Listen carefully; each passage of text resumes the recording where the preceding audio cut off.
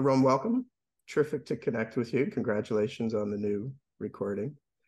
I've always come at your music from the perspective of um, a broad electronic music fan as opposed to specifically uh, a garage fan or a fan of any real specific subgenre of of the music are you conscious of that? Is that something that's that's on your mind when you're making music? Are you targeting an audience within a specific subgenre or what's your goal? Um i think that early on i did tend to try and target people within the future garage niche um, just because i wanted to fit in and be a part of that community. But I've always been somebody who, um, you know, as you already know, like I come from like a hip hop background, right? I used to do a lot of hip hop production for people in the city. So like my tastes have always been a bit broader. And as a result, that's kind of bled into my work. And uh, I think that results in me targeting specific niches less and less as I continue on. And instead just focusing on making music that I think sounds cool and is relatable and has some sort of utility to it. Yeah, I think the result is that your work has at least the potential for a very, very broad appeal. I mean, it seems to me that what you do, um, those of my listeners who are interested in electronic music broadly are going to find all kinds of things in your music if they haven't heard it already. That's really exciting. Um, how much has your background as a producer contributed to that? Just simply your comfort level in the studio? Uh, greatly. I think it's it's a huge contributor. Um, just wanting to.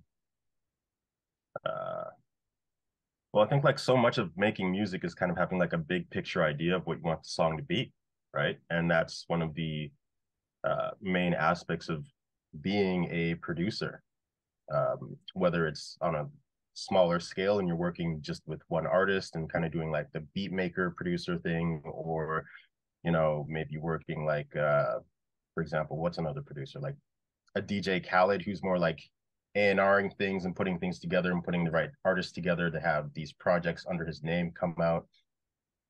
And um you know that was a big part of how i approached uh producing hip hop and rap with people. So I think I've just carried that with me as I continue to make electronic music, and I think it's uh, it's going to be a guiding approach for how I make music moving forward. Why not just stick with hip hop? uh, um, a lot of reasons. A lot of reasons. Some of which are kind of market related, and some are, I think, more personal and a result of my specific experiences with uh, doing that and with the people that I would produce with. You know, on on the market side, um, I think that uh, it's become a little bit stale, where it was a little bit stale, just sonically. Like I remember in 2017, uh, I think around that time you had songs like Bad and Bougie come out and like a lot of these other like huge mega hits. And you know, the stuff was great. It was great to play in the clubs, but like the stuff that I really loved growing up in hip hop was always the stuff that you would consider to be like a B-side. You know, like songs that wouldn't be uh played in the club, but like you would sit at home or you you'd attribute them to another moment and enjoy them that way right? Um, one example that you and anybody listening to this can check out is like a song like uh, keys open doors by the Clipse. Like you would never hear that beat in the club ever right? But it's phenomenal it's weird it's so out there. It's really like one of the more um strange uh, productions that have come out of. I think it was. I'm not sure if it was just Pharrell who made that or if it was the Neptunes, but um, you know, out of that camp. So it's like stuff like that I really wanted to make, and I found that um, I just couldn't really produce that, unfortunately. Like, uh, and I think part of that is, again, a result of how the genre itself was very focused on a very like trap trap sound. Um, a lot of influences from the south. You know, you had people like uh, Metro Boomin, who was starting to become popular around around that time, and um, part of it is also a result of, I think, a conservatism within Toronto, um, because our rap scene, which, I mean, who knows? Maybe I'm uh, a bit too far out of the loop now, but to my knowledge, it's kind of dead, uh, aside from a few particular outliers. Um, our rap scene was very focused on uh, trying to emulate the US. So again, that results in there being no space for the weirder stuff. So I ended up just following my curiosities and ended up in uh, electronic music.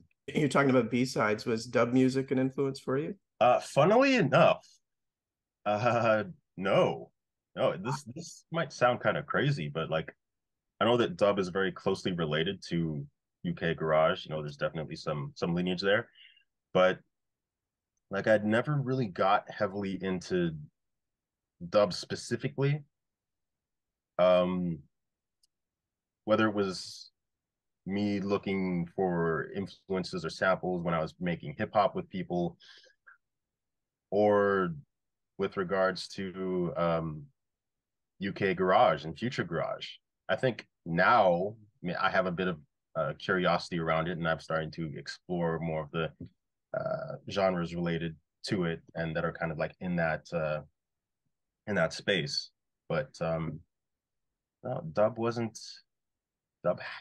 Dub hasn't been a huge influence on me, but we'll see. We'll see moving wow. forward. I'm so surprised. I, I hear it in your work so strongly. And I mean, perhaps you just absorbed it through other other outlets, because of course it has been such an influential music. Mm-hmm. Yeah, I think you hit the nail on the head there by saying that I absorbed it through other outlets, maybe like unknowingly, because I never really like sought out kind of the classic old school dub stuff. Um, and like offshoots, for example, like dubstep. Everybody remembers the the uh, massive popularity that Skrillex had in the 2010s. Um, I was never into that stuff. I was never really into it. Um, but you know, like there's so much of future garage is pulling from that space. And um, you know, you hear it in like Burial's music, you hear it in James Blake's music, and I'm a huge James Blake fan. Uh, so that bleeds into my work, and then you hear it in the music made by people who um, were sort of spawned by Burial. So, like, for instance, artists like uh, Vacant, who's another electronic uh, UK garage, mostly future garage producer. Um, other affiliated producers like Sorrow and uh, Klimeks, and just a lot of the people that you would find on like YouTube channels like uh, Wave Visions, for example. Back in the early days, I think now Wave Visions does a lot of like lo-fi house stuff, but like back in the uh, I want to say like 2013 all the way up to maybe 2018, 2019, it was largely just stuff that sounded like that. So that's where a lot of that comes from and how it bleeds into my work. I'm going to have a lot of listeners who are completely unfamiliar with a lot of the music you're describing. And so I'm wondering if you can give them a quick sort of one on one on the garage scene. You talked about UK, you talked about future garage. What do you want people to know about this music and why it's it's touched you in the way it has? Hmm.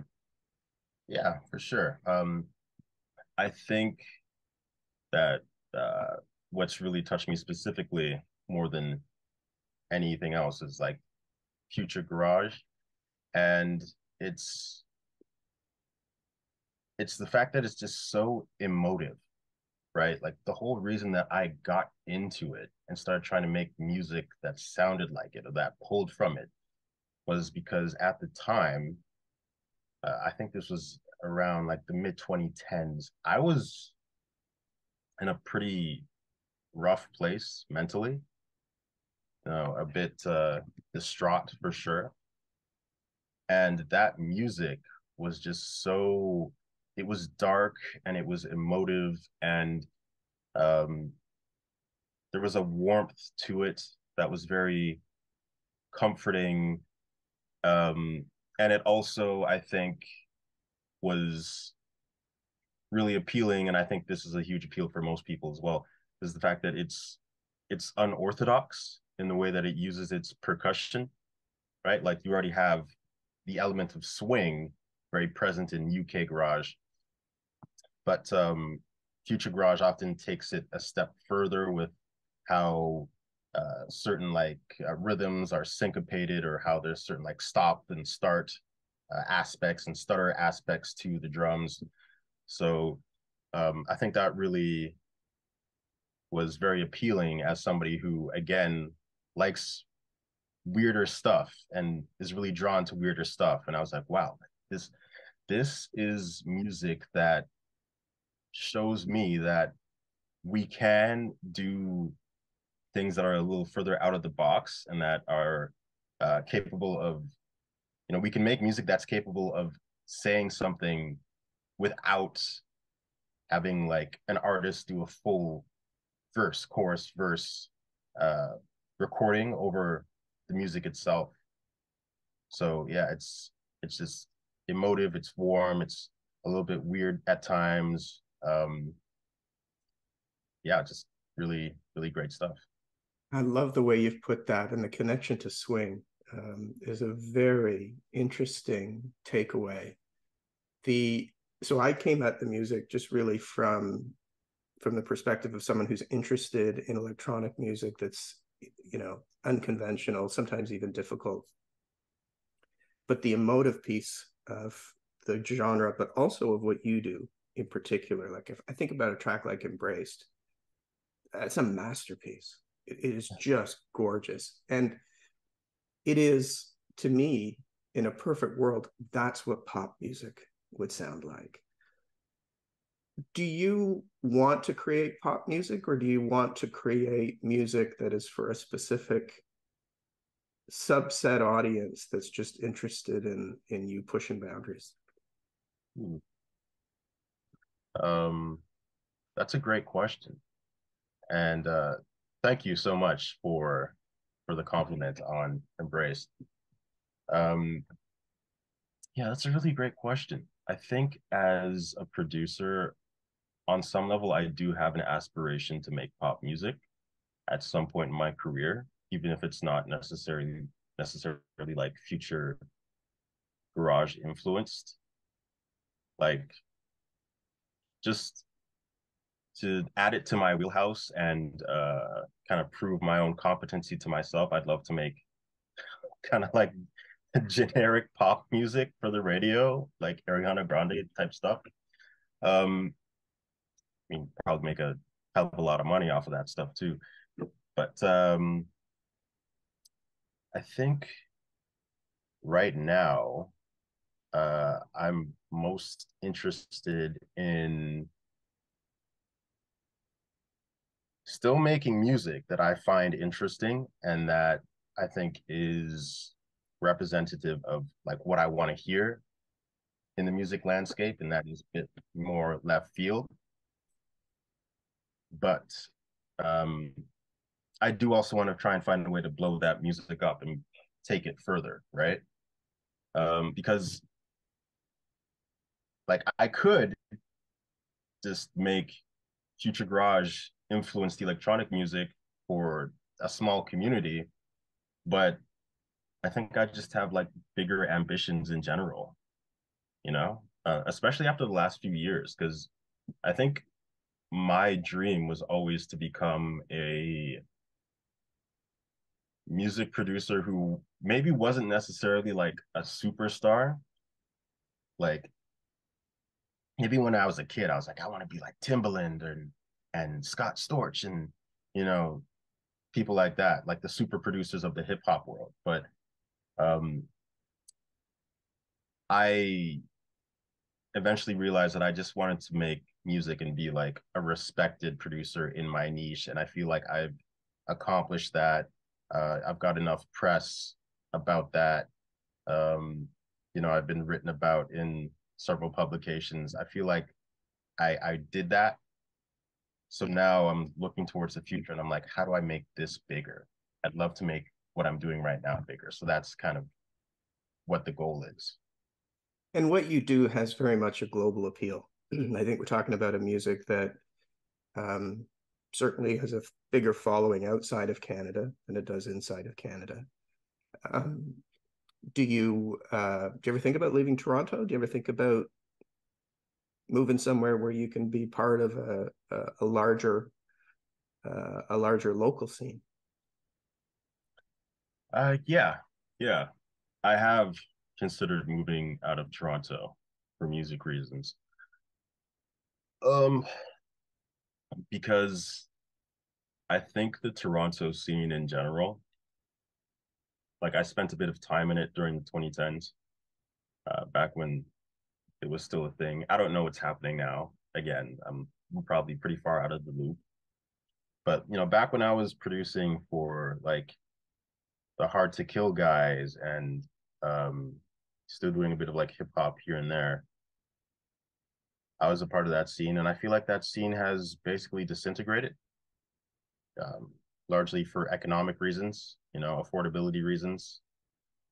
Um, so yeah, like I'd love to move to a place where I could perhaps be a part of a bigger scene and connect with more people and um, take things to a larger platform. Yeah, yeah, I think the potential is absolutely there. Let's talk about the new material. Uh, I have to ask you about the title, Revenge. Are we seeking revenge these days? um, I try not to. I try not to. Yeah. Um, the title of revenge. It's it's definitely I think the feeling that drove the the conceptualization and production of this new project. But uh, I want to make it clear like it's not about inflicting harm on other people. It's just about how negativity and you know just like negative emotions like resentment, frustration, anger, rage, stuff that we all feel when you know life kicks us real hard and maybe kicks us when we're down can culminate in the feeling of wanting to be vengeful, but then what I want people to do is actually like channel that into something productive. Right. And um, I hope that it comes across on the project because this is still largely like an instrumental project, instrumental six tracks. There's not too many vocals on it. Um, probably the least amount of vocals of any of the EPs and LPs that I've ever put out, actually. But you know, if you listen through it, there's still a narrative present. There's still a story present. Um, you get that early on in the intro uh, of me supposedly going to seek revenge, starting up that car, and it has that explosive, like beast-like ignition, and then, you know, like hard cut into headhunters.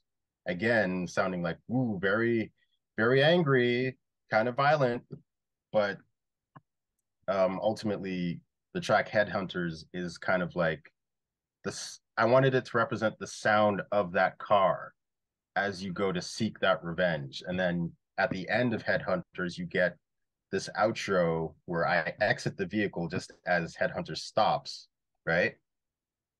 And it's me walking through uh kind of like a crowd.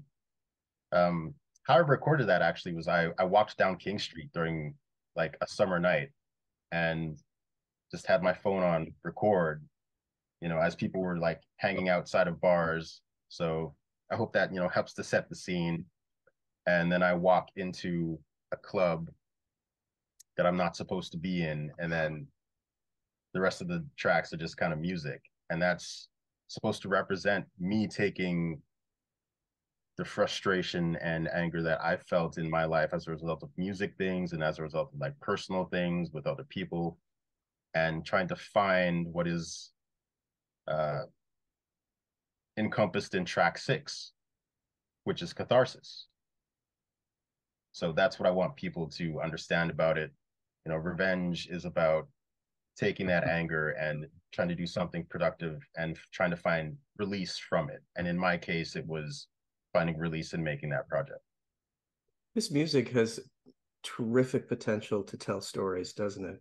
With its emotional uh, content, both vocally and otherwise, because there's there's just as much emotion in the music that you produce. The tension is just palpable it's it's incredibly powerful.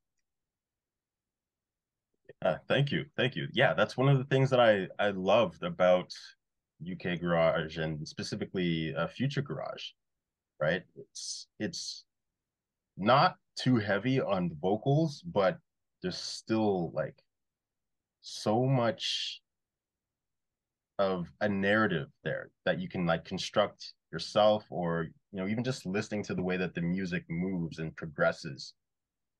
So yeah i i agree. Like i think there is a lot of potential and i would love to you know going back to one of your previous points i would love to work with some more people to uh, try and help build up a scene around it and take it somewhere bigger you know um i mean one of my goals right now as a musician who would like to make money off of my music, as most musicians do, is to get it into movies, right? I've been pursuing uh, synchronization opportunities for the past few years, like serious, taking it very seriously. And it's because like I feel like it could work very well as an underscore for emotional moments, even just as uh like end credits music you know, to like really hammer home the point of whatever the final scene is or what the point of like a movie or film is or a movie or a TV show is.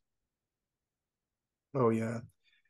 Are you conscious of the music being a reflection of our time, both in terms of again the emotion that it expresses, but also the uh, your extensive use of technology uh, of of electronic sounds? Um, for me, that is, I have the sense that this is one of the music's that defines our our time. Hmm. Yeah, I think I am. I think I, I try to stay cognizant of that, um, especially during my production process, because